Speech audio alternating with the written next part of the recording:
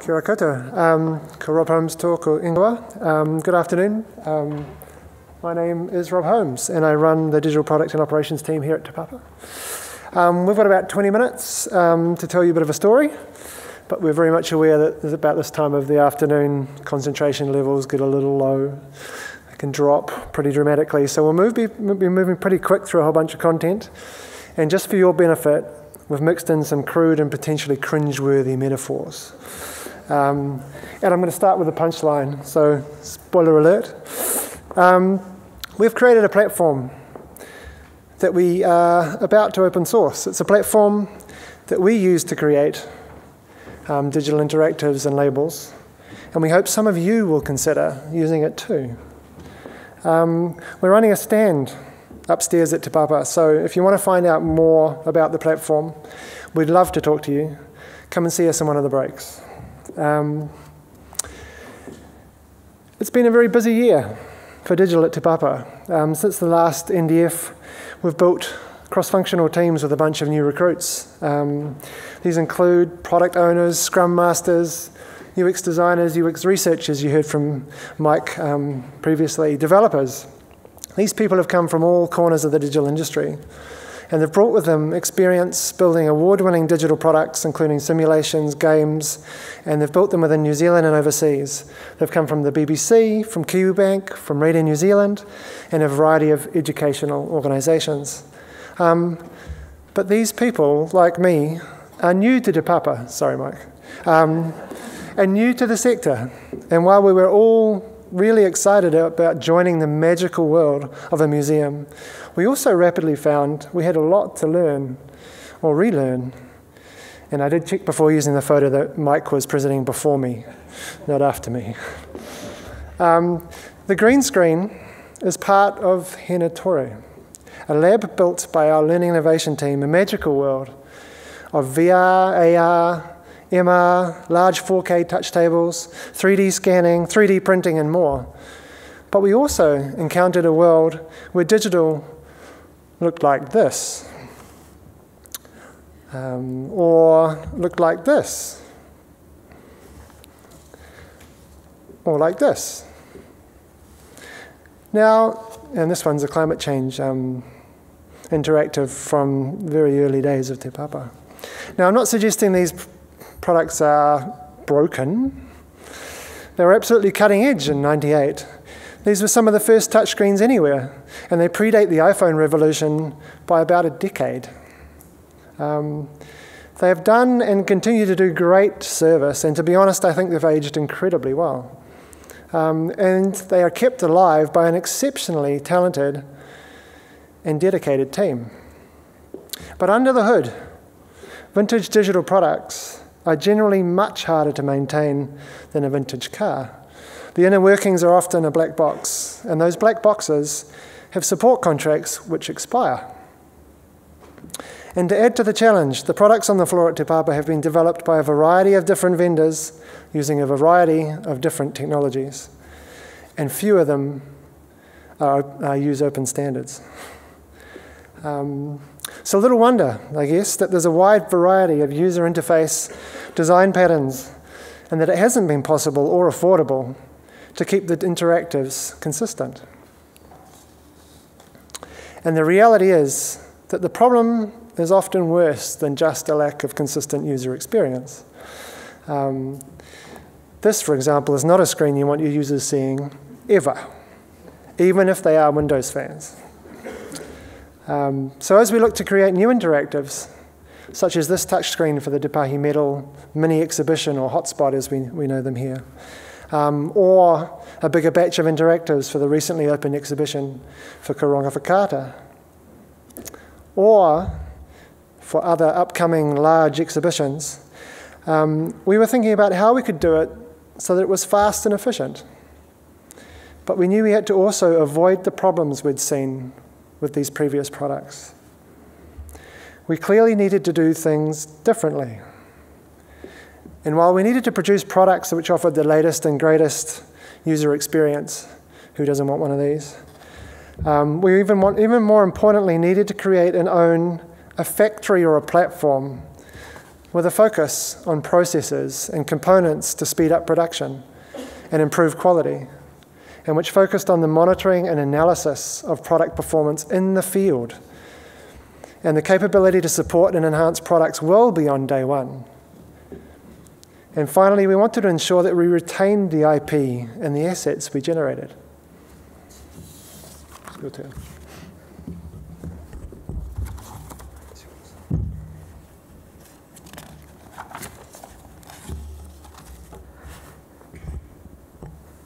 Thank you. Good afternoon. Uh, I'm Richard Hulse. Uh, some of you will know me from my previous work at RNZ, where I built and ran the website until October last year. I started at Te Papa in January this year uh, with a fresh challenge, which Rob's just outlined, which was basically create a Tesla like factory at Te Papa. Um, one of the things I had to do when I got here is start listening. As a product owner, the most valuable skill that you can have is listening to the voice of your customer. One reason was that I came from broadcasting, quite a different field. Uh, glam sector wasn't so familiar, and uh, of course, I had a lot to learn. The other was that, according to Peter Drucker, only those in the process actually have the information needed to improve that process.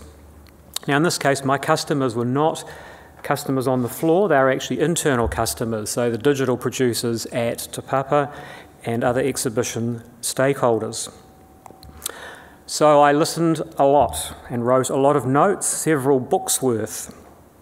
And after a few days, a week or so, I started to join some dots up and started getting an understanding of what the problems were and particularly what controls were in place in the current process. So these are often unspoken uh, controls, they're rules that stop the organisation churning out material that is of a poor standard or broken.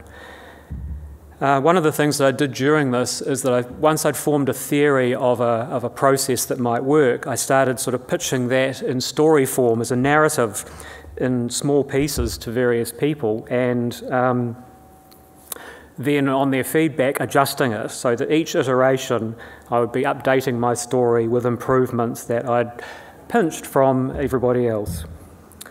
It went through quite a few iterations, but what I was doing was building foundations.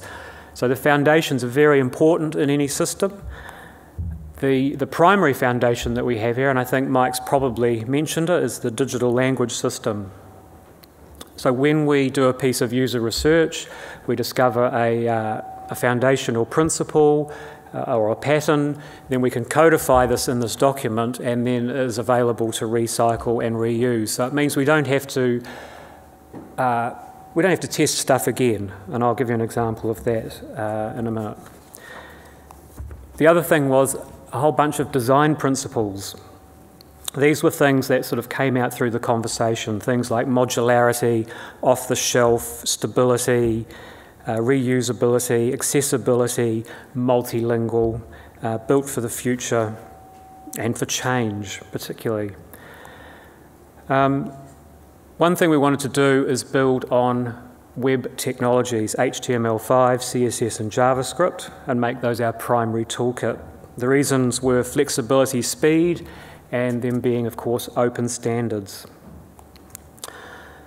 Uh, we use a DPDF here, the Digital Product Development Framework. Have I got that right, team?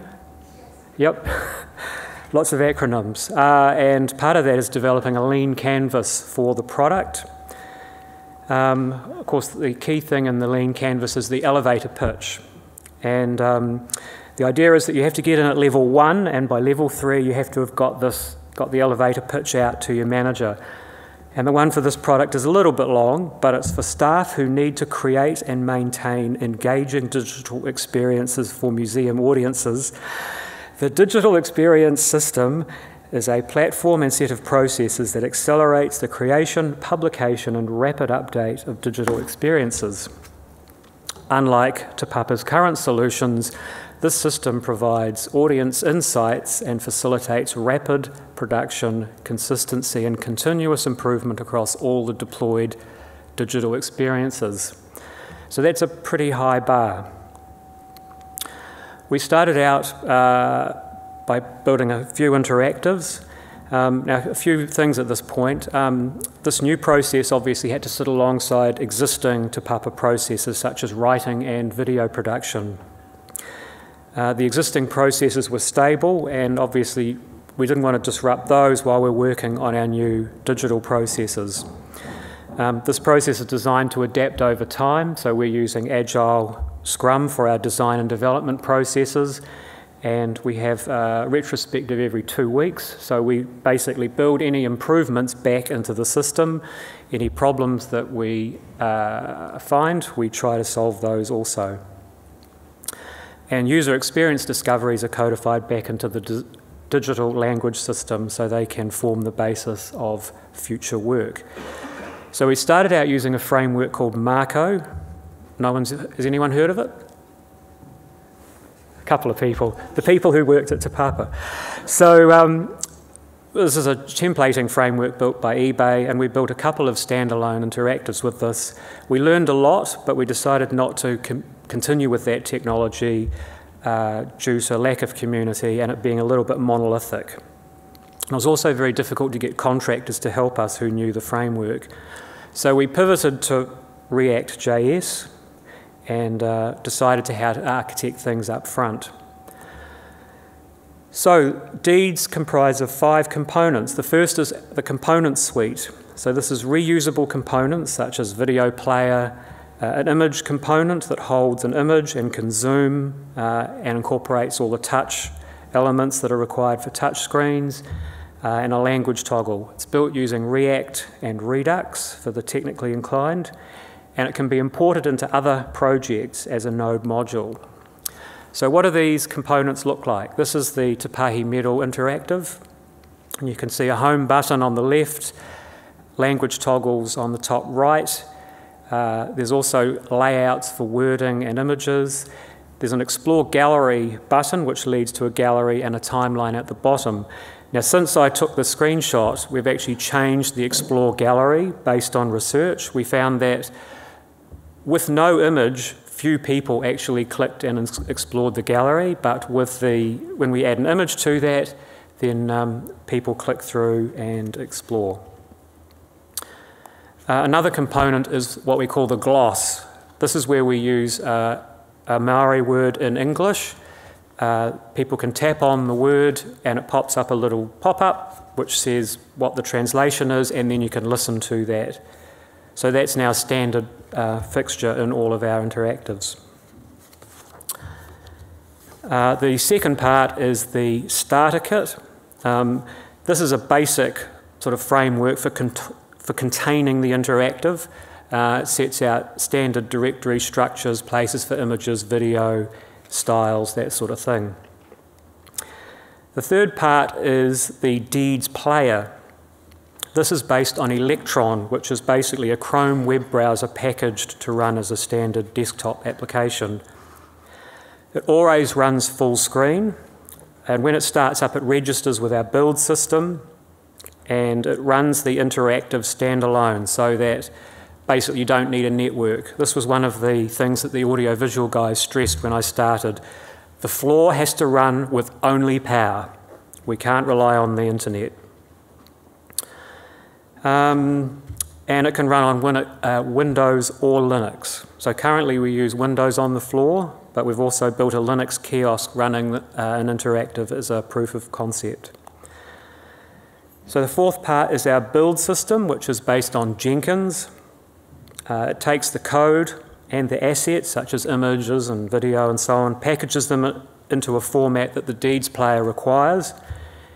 And then uh, the last part, the deployer, can then take that package and send it to the device on the floor. Now, I came to, um, Te Papa with quite high expectations in regard to deployment. In my first week here, someone came to me and asked the question Do you think we could possibly be able to update content once a week? Um, I came from broadcasting and uh, obviously with a web background, and we're updating content dozens, hundreds of times a day. And I said, yeah, I think a week will be possible. Um, So prior to DEDS, updates were generally done also outside of hours, perhaps uh, every few weeks at most. Uh, but now we can update whenever we want. All we have to do is walk out on the floor with a tablet, make sure no one's around, and press the button. So this uh, deployment was done during, uh, during office hours.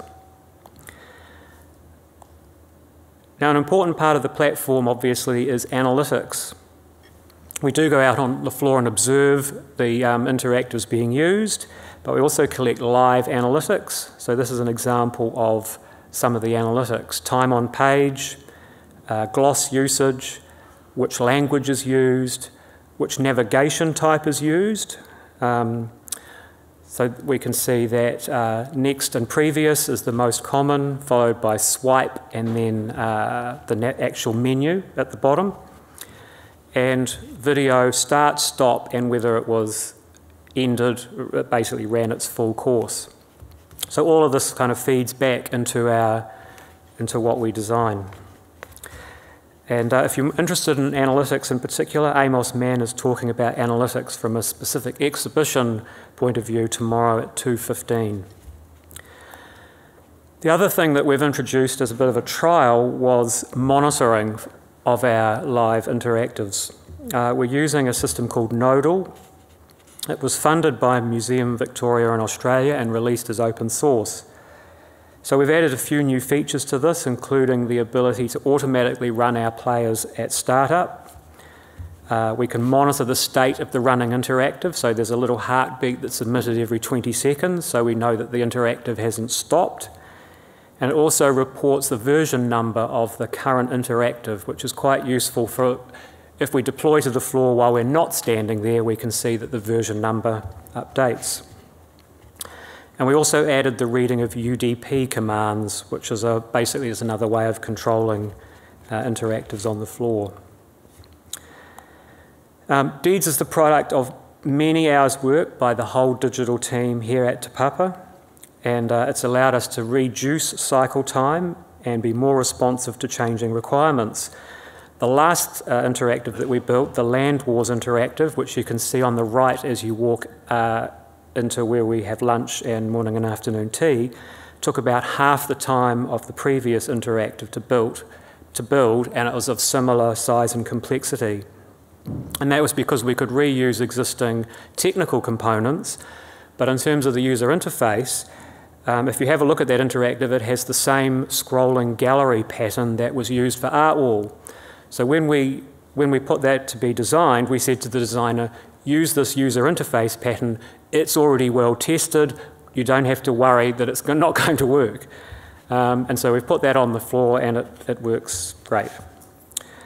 Um, the other thing was that in the final stages of Rongowhakaata, where we built seven interactives, the last three of them were built in about a week based on existing components and existing uh, designs and styles.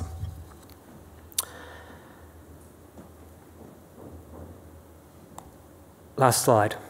a reminder that we're very keen to, uh, to share more about the DEDS platform and also to mention again that we're currently preparing the code for public release under an open source license. And the aim of that is so that we can lower the bar for other institutions to make this kind of interactive uh, using what we've, we've produced. Thank you very much. Any questions?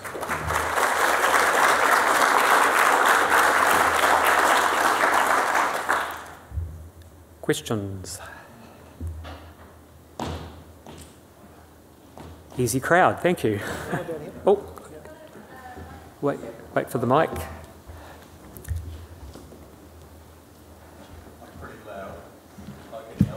Oh, it's just because this has been recorded.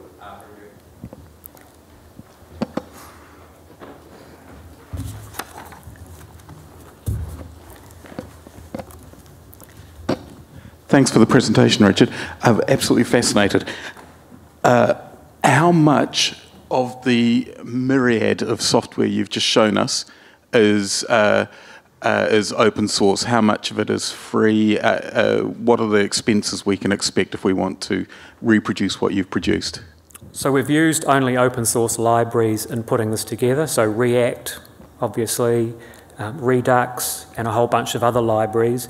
But when we release it, it will be under an MIT license, which is very permissive. The costs that you'll have will be design and integration. Um, the, we will include some examples of how to stitch together the components. Um, so there will be some heavy lifting required, but I guess over time I'm hoping that we we or some other institution might come out, out with some kind of generic, kind of uh, white branded, you know, unstyled kind of interactives.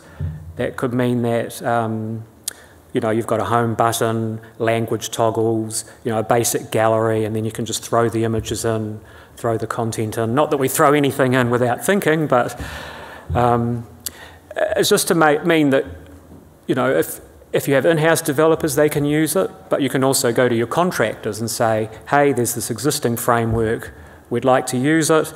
Um, potentially they could come back and say, well, it'll do 80% of it, and then you could go and say, well, okay, we'll fund the other modules that are required, and then they could then be open sourced.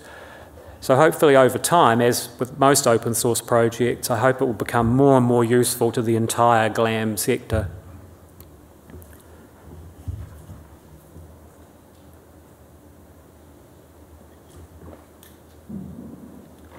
Thank you.